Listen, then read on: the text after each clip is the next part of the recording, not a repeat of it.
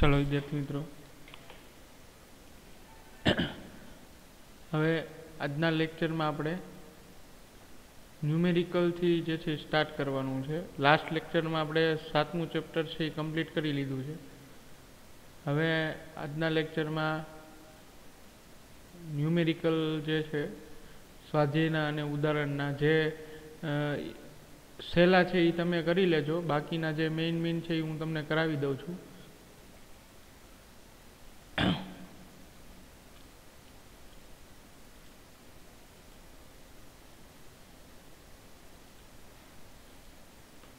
જે જે નથી કરવાના એ હું તમને કહું, જે સિલેબસમાં નથી નીકળી ગયા છે એ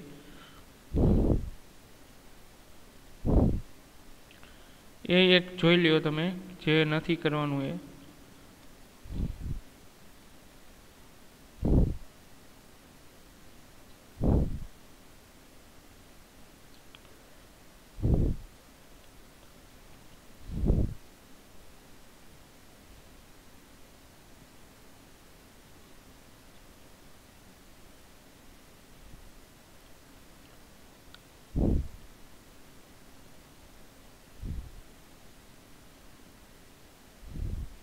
તો જે વધારાના સ્વાધ્યાય છે, વિદ્યાર્થી મિત્રો, વધારાના સ્વાધ્યાયના જે દાખલા છે, એ તમારે નથી કરવાના.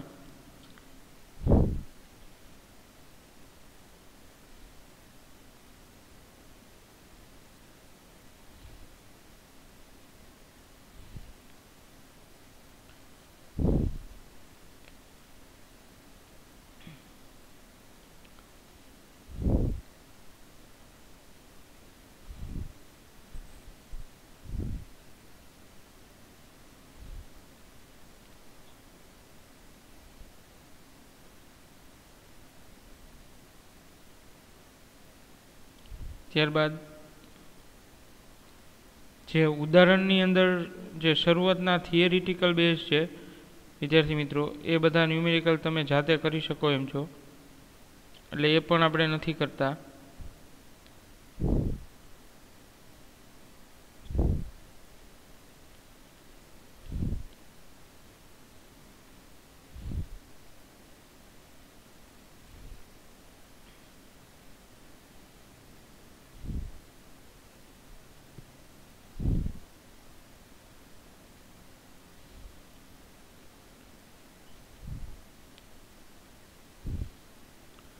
ચાલો તો. હવે તમારી ટેક્સ્ટબુક તમે સાથે રાખો. તમારી ટેક્સ્ટબુક તમારી સામે જ રાખો અને એ રીતે આપણે જોતા જવાનું છે. કારણ કે પીડીએફ જે છે એ કોઈ ટેકનિકલ ઇસ્યુના કારણે અપલોડ નથી થતી. એટલે રકમ છે એ તમે તમારી ટેક્સ્ટબુકમાં જોતા જજો. હું અહીંથી બોલતો જાઉં છું. રકમ છે એ તમારી ટેક્સ્ટબુક પ્રમાણે જોતા જજો, વિદ્યાર્થી મિત્રો. હવે આપણે સ્વાધ્યાયથી જે છે સોરી ઉદાહરણના જે દાખલા બાકી છે, ત્યાંથી જોઈએ. અમુક ઉદાહરણના આપણે કરી લીધા છે સાતમા ચેપ્ટરમાં. તો ઉદાહરણ તમારી ટેક્સ્ટબુક સામે રાખજો. ઉદાહરણ નંબર હું તમને કહું છું. સાત પોઈન્ટ ચાર સુધી થઈ ગયું છે. બાકીના બે થિયરીવાળા છે.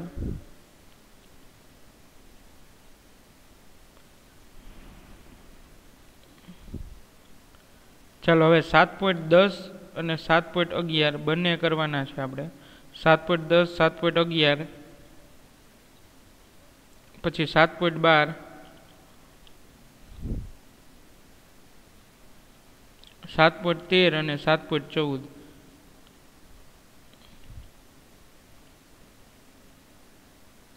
પછી સાત પોઈન્ટ પંદર અને સાત પોઈન્ટ સોળ. ચાલો, આટલા ઉદાહરણો છે એ પહેલાં આપણે કમ્પ્લીટ કરીશું. અને વિદ્યાર્થી મિત્રો, ત્યારબાદ આપણે આટલા ઉદાહરણો કમ્પ્લીટ થઈ ગયા બાદ આપણે સ્વાધ્યાયના દાખલા તરફ જશું. હવે જે અત્યારે મેં બે તમને જે ઉદાહરણો કીધા શરૂઆતના, તો એ બે ઉદાહરણો વિદ્યાર્થી મિત્રો આપણે એકચ્યુઅલમાં કરવાના નથી ખરેખર. પણ છતાં આપણે એટલા માટે કરીએ છીએ કે નીટમાં એ પૂછાય છે, લંબ અક્ષનો પ્રમેય અને સમાંતર અક્ષનો પ્રમેય. તો નીટના સિલેબસમાંથી એ નીકળવું નથી, એટલે આપણે ફરજિયાત કરવું પડશે, લંબ અક્ષનો પ્રમેય અને સમાંતર અક્ષનો પ્રમેય.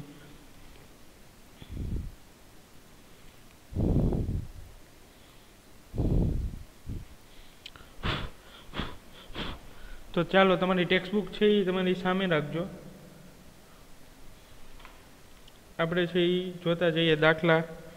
ચલો એક તકતીની તેના કોઈ એક વ્યાસને અનુલક્ષીને જડત્વની ચાક માત્રા કેટલી થાય? ચલો કોઈ એક તકતીની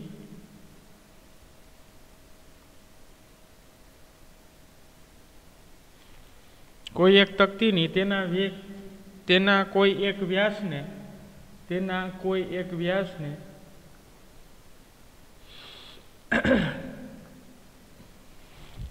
અનુલક્ષીને જડત્વની ચાક માત્રા.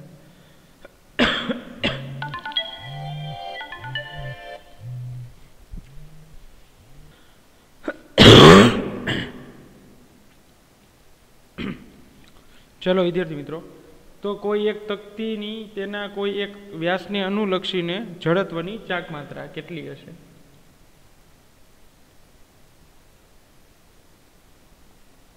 ચાલો તો જડત્વની ચાક માત્રા મેળવવાની છે. ઉદાહરણ, ખાસ તમારી ટેક્સ્ટબુકમાં ધ્યાન રાખજો. હવે એકચ્યુઅલી તમે આ જુઓ, તો જડત્વની ચાક માત્રા આપણે ઓલરેડી ઓલા કોષ્ટક છે એમાં જોયેલી છે એક તકતી માટેની. તો તમને ત્યાંથી ડાયરેક્ટ ખબર પડી જાય કે કોઈ એક તકતી માટે કેટલી હોય. પણ છતાંય આપણે જે છે એ દાખલાની રીતે જોઈએ.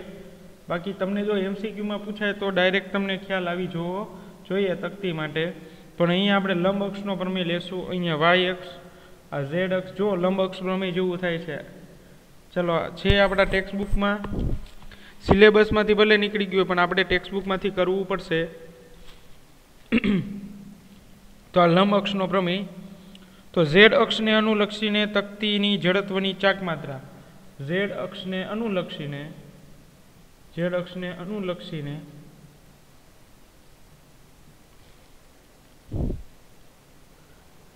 ઝેડ અક્ષને અનુલક્ષીને તકતીની જડત્વની ચાક માત્રા. તકતીની જડત્વની ચાક માત્રા.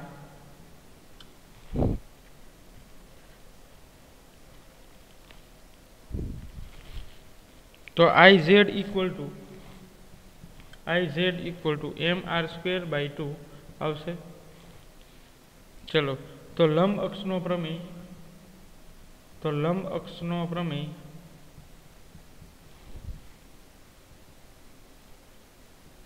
અનુસાર, ચલો, તો લંબ અક્ષનો પ્રમેય શું કહે છે?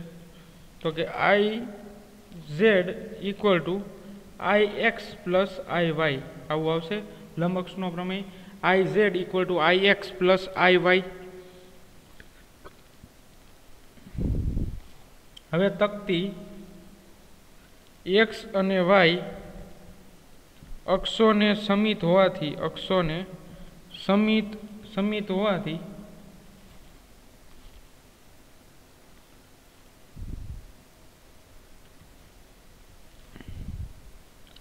એ બે સમાન હોવાથી I X equal to I Y, બે સેમ થશે. I X equal to I Y, આ બે સેમ થશે.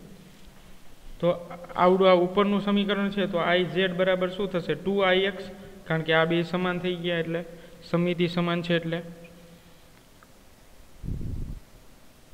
ચલો, તો આઈ એક્સ બરાબર શું થશે? આઈ ઝેડ ના છેદમાં બે. હવે આઈ એક્સ બરાબર શું થશે? આઈ ઝેડની વેલ્યુ જે છે એ લખી છે આપણે, એમ આર સ્ક્વેર ના છેદમાં બે અને બે ગુણ્યા બે એટલે ચાર. તો આ જવાબ આપણો થઈ ગયો I X equal to M R square ના છેદમાં ચાર. એમ આર સ્ક્વેર ના છેદમાં ચાર. ચલો તો આ ઉદાહરણ આપણું કમ્પ્લીટ. ત્યારબાદ એવી જ રીતે છે એ તમે જાતે કરી નાખજો. દ્રવ્યમાન એલ લંબાઈના સળિયા માટે છે. તો સળિયાના પરથી જે છે આપણે ટેક્સ્ટબુકમાં આપેલું જ છે કોષ્ટકમાં. તો એના ઉપરથી થઈ જશે. એના પછીનું ઉદાહરણ છે એ તમે જાતે કરી લેજો. એના પછીનું પાછું હું કરાવું છું.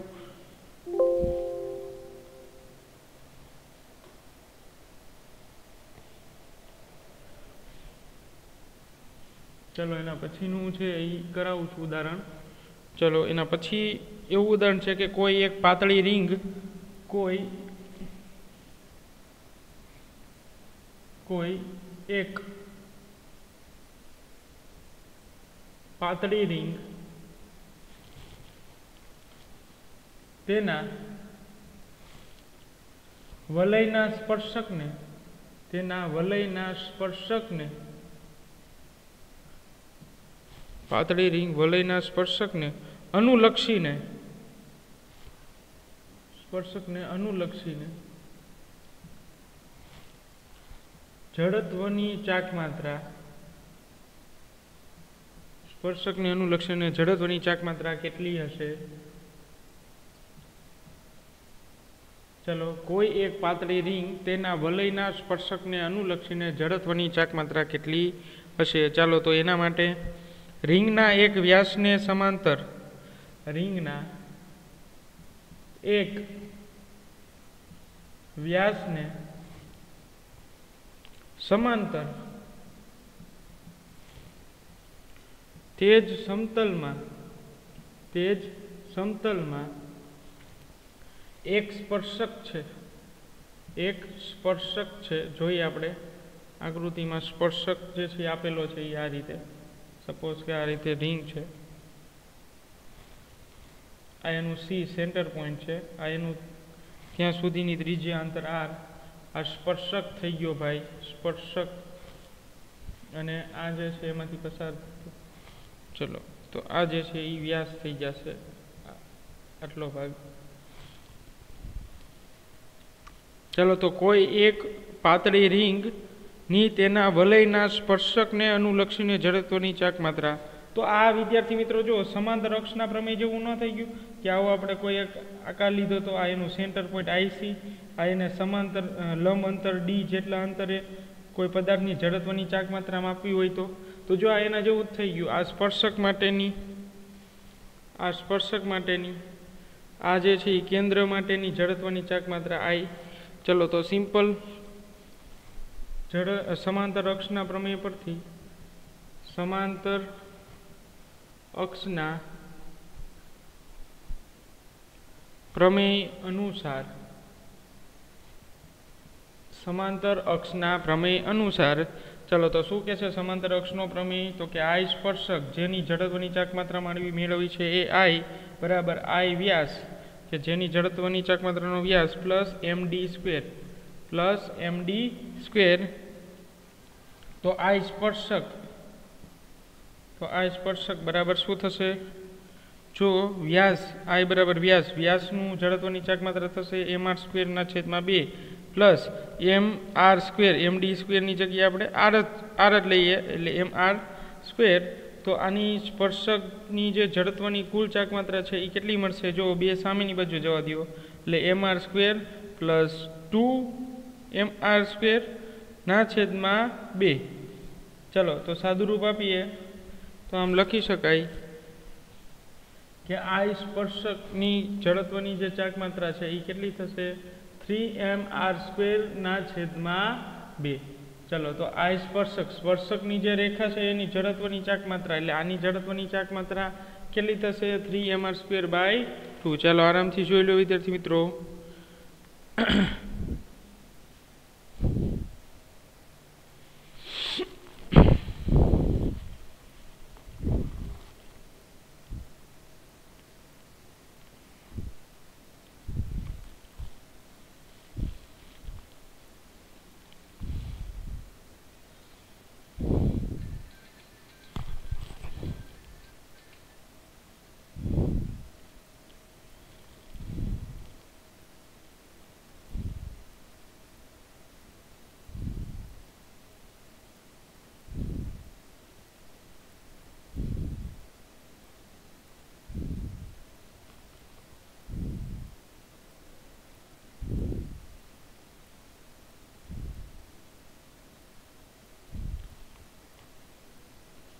ચલો વિદ્યાર્થી મિત્રો આ એમસીક્યુમાં પૂછાય એવા છે શક્યતા વધારે છે એમસીક્યુમાં પૂછાય એવી.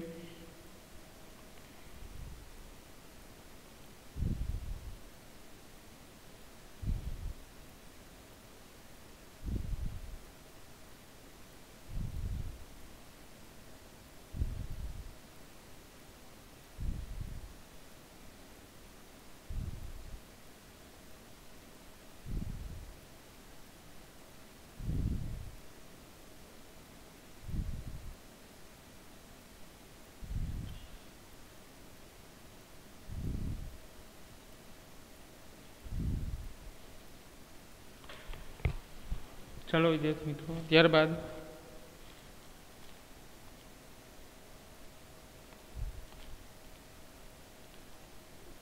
એના પછીનું એમસીક્યુ સોરી એના પછીનું ઉદાહરણ. ચાલો વિદ્યાર્થી મિત્રો, આ ટાઈપના જે દાખલા છે એ તમારે ખાસ જે છે એ કરવાના. એક એક માર્કમાં જે છે એ વધારે અને એમાં ખાસ કરીને નીટમાં જે છે એ ઝડપ અને ચાક માત્રાને લગતા વધારે દાખલા હોય છે. તો એની પ્રેક્ટિસ જેમ બને એમ તમે વધારે સારી કરશો, એટલો બેનિફિટ તમને વધારે મળશે. એટલે આપણે પ્રેક્ટિસ જે છે, વિદ્યાર્થી મિત્રો, એ થોડી વધારે રાખવી.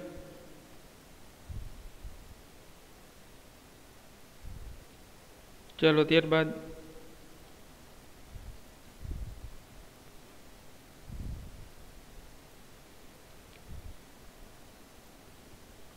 હવે એના પછી જે છે એ પ્રાથમિક સિદ્ધાંતોના આધારે અચળ પ્રવેગી ગતિનું સમીકરણ મેળવવાનું છે. એ તમે જાતે કરી લેજો, એ એટલું જરૂરી નથી.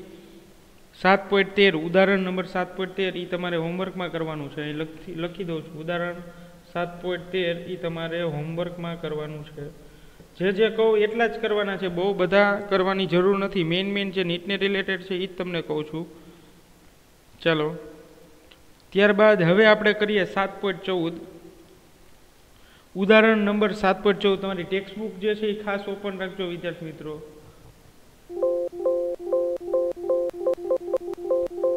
ઉદાહરણ સાત પોઈન્ટ ચૌદ. લખી દો એટલે તમારે ભૂલ ન થાય. ઉદાહરણ સાત પોઈન્ટ ચૌદથી જે છે એ તમારે ટેક્સ્ટ બુકમાં ધ્યાન રાખો. સાથે જ રાખજો.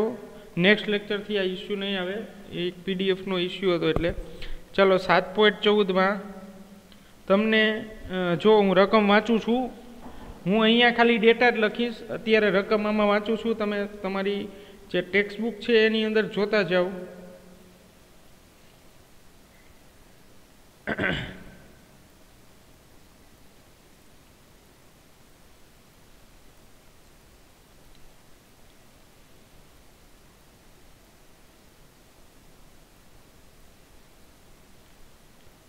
ચલો તમારી ટેક્સ્ટબુકમાં ખાસ ધ્યાન રાખજો, વિદ્યાર્થી મિત્રો. સાત પોઈન્ટ ચૌદ છે એ હું જો બોલું છું.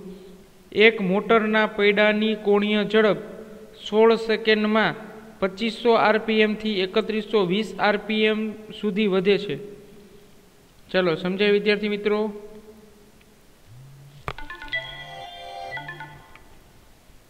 ચલો, એક મોટરના પૈડાની કોણીય ઝડપ સોળ સેકન્ડમાં બારસો આરપીએમથી એકત્રીસો વીસ આરપીએમ સુધી વધે છે.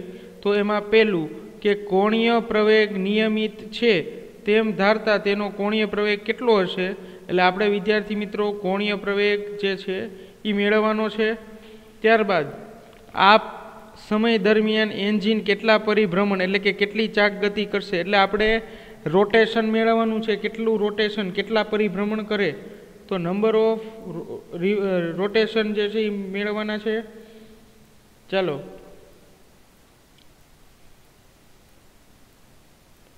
સમજાય વિદ્યાર્થી મિત્રો? હવે તમને વિદ્યાર્થી મિત્રો, આની અંદર તમારા સાત પોઈન્ટ ચૌદ તમારા ટેક્સ્ટ બુકમાં જો આમાં આપેલું છે, સોળ સેકન્ડમાં બારસો આરપીએમથી એકત્રીસો વીસ આરપીએમ હવે તમને ખાસ શીખવાડેલું વિદ્યાર્થી મિત્રો કે આરપીએમને રેડિયન પર સેકન્ડમાં કન્વર્ટ કરવા પડે.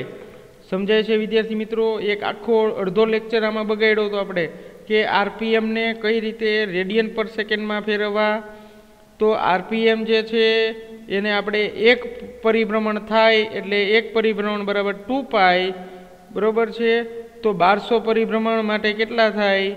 તો બારસો ગુણ્યા ટુ પાયના છેદમાં સાઠ આવશે. ચાલો, આ રીતે કરવાનું છે. સાથે સેકન્ડ જે છે, એટલે સેકન્ડમાં કન્વર્ટ કરવા માટે રેડિયન પર સેકન્ડ કન્વર્ટ કરવા માટે સાઠ લેવા પડશે. મિનિટ છે, આરપીએમ મિનિટ છે. આપણે રેડિયન પર સેકન્ડ લખવું હોય તો એને સાઠ વડે ભાગાકાર કરવો પડશે. ચાલો તો ડેટા જે છે એ હું લખી દઉં, વિદ્યાર્થી મિત્રો, તમને. પછી આપણે આલ્ફા મેળવવાનો છે. અને એના પરથી આપણે રોટેશનના નંબર મેળવવાના છે. કેટલા રોટેશન થાય?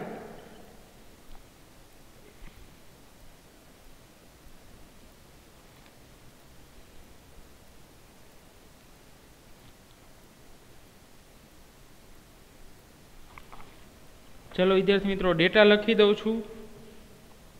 ટી બરાબર સોળ સેકન્ડ તો સોળ સેકન્ડની અંદર હવે આરપીએમ ઓમેગા જે છે, પ્રારંભિક.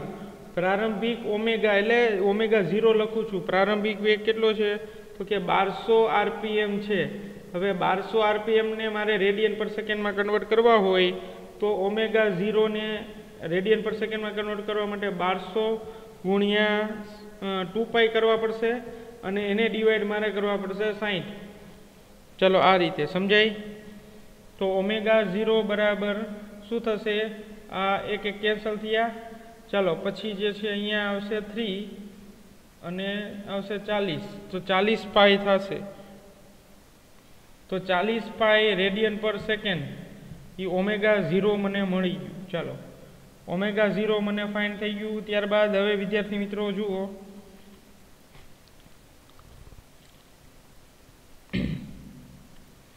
ઓમેગા, હવે આપણે જે છે ઓમેગા મેળવવાનો છે. ઓમેગા બરાબર કેટલા આપ્યા છે? જુઓ, તમારી ટેક્સ્ટબુકમાં એકત્રીસ, વીસ આરપીએમ આપેલા છે.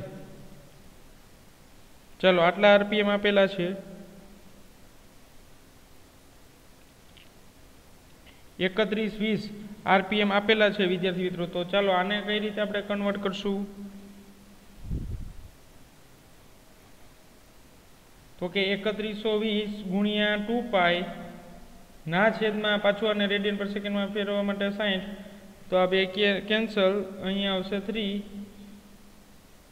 અને ચલો, એટલે ઓમેગા ઇક્વલ ટુ થશે એકસો ને ચાર પાય રેડિયન પર સેકન્ડ ચલો, આ તમે ડિવાઈડ કરશો થ્રી ત્રણસો બાર ભાગ્યા ત્રણ કરશો, એટલે એકસો ને ચાર પાય રેડિયન પર સેકન્ડ મળશે.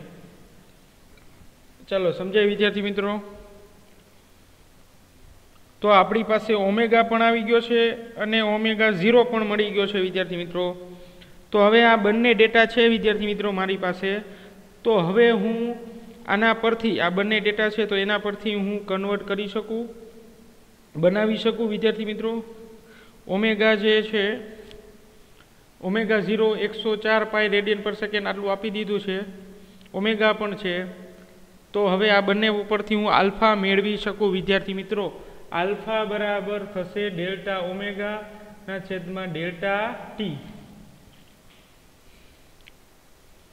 ચલો, તો આલ્ફા જે છે એ ફાઇન થઈ જાય ને વિદ્યાર્થી મિત્રો? આલ્ફા બરાબર ડેલ્ટા ઓમેગા. તો ડેલ્ટા ઓમેગા એટલે શું આવશે? ઓમેગા માઇનસ ઓમેગા ઝીરો ના છેદમાં ડેલ્ટા ટી. તો ડેલ્ટા ટી બરાબર આપણે લખવાના છે સોળ સેકન્ડ. તો એ તો આપી દીધી છે. તો આલ્ફા બરાબર ચાલો કરો એકસો ચાર માઇનસ ચાલીસ.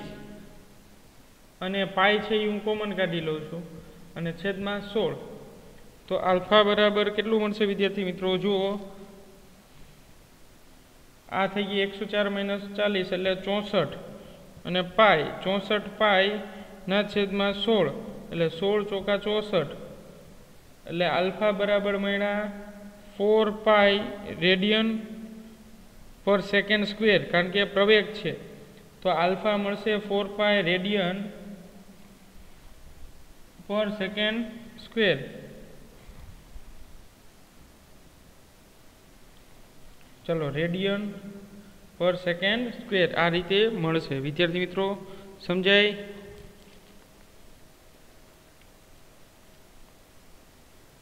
ચલો હવે આપણે પરિભ્રમણની સંખ્યા મેળવવાની છે. આટાના પરિભ્રમણની સંખ્યા તો થીટા બરાબર omega zero T plus half alpha T square.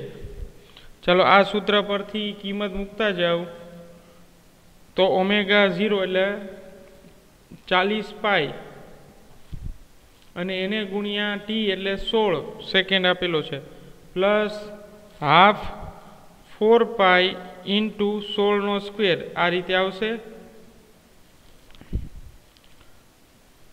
ચાલો. હવે થીટા બરાબર વિદ્યાર્થી મિત્રો મારે લેવાના છે ટુ પાઈ એન. એન એટલે પરિભ્રમણની સંખ્યા અને થીટા એટલે એક પરિભ્રમણ પૂરું થવા માટે ટુ પાઈ જેટલું, એક પરિભ્રમણ જે છે એ ટુ પાઈ જેટલું થશે. તો two pi N equal to કેટલા થશે વિદ્યાર્થી મિત્રો? છસો ચાલીસ પાઈ પ્લસ પાંચસો બાર પાઈ. આ રીતે થશે. બેનો સરવાળો કરો. એટલે થશે અગિયારસો બાવન પાઈના છેદમાં ટુ પાઈ મેં નીચે લઈ લીધા છે. તો two pi two pi cancel. બે ભાગ્યા અગિયારસો બાવન. એટલે એન બરાબર થશે પાંચસો ને છોતેર પરિભ્રમણ. કેટલા વિદ્યાર્થી મિત્રો? એન બરાબર પાંચસો ને છોતેર પરિભ્રમણ. તો વિદ્યાર્થી મિત્રો, સમજી શકો તમે કે આ જે વ્હીલ છે એ કેટલા પરિભ્રમણ કરશે તો કે એન બરાબર પાંચસો ને છોતેર પરિભ્રમણ અનુભવશે. ચાલો સમજાય વિદ્યાર્થી મિત્રો?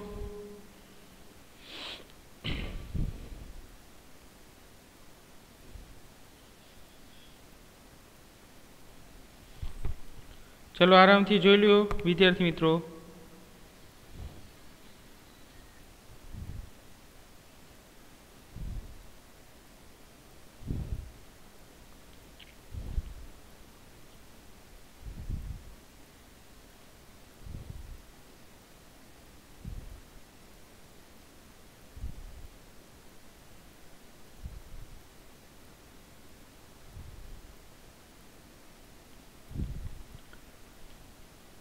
ચાલો વિદ્યાર્થી મિત્રો એન બરાબર પાંચસો ને છોતેર પરિભ્રમણ થશે.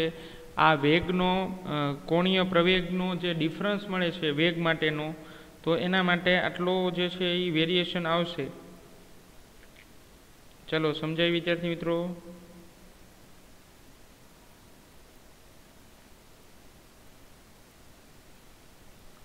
તો આ જે છે દાખલો ખાસ આ જે છેલ્લો પાર્ટ છે ત્રીજો થીટા પરથી થીટા બરાબર ટુ પાઈ એન કેમ લીધા?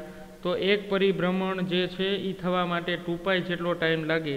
વિદ્યાર્થી મિત્રો, જે લોકોને નથી ખબર પડતી, એ ખાસ ધ્યાન રાખો, એક પરિભ્રમણ એટલે ટુ પાય થશે. એટલે એના ઉપરથી લીધું છે ટુ પાય એન.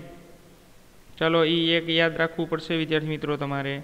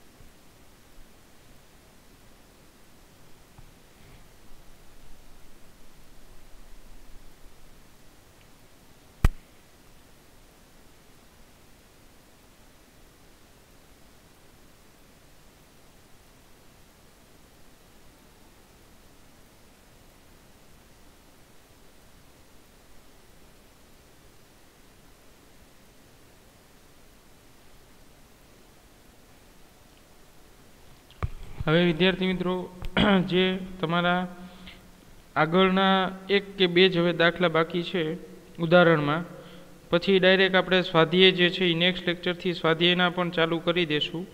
ટૂંકમાં આવતા બે લેક્ચરની અંદર આપણે સાતમું ચેપ્ટર સંપૂર્ણ કમ્પ્લીટ કરી દેવાનું છે.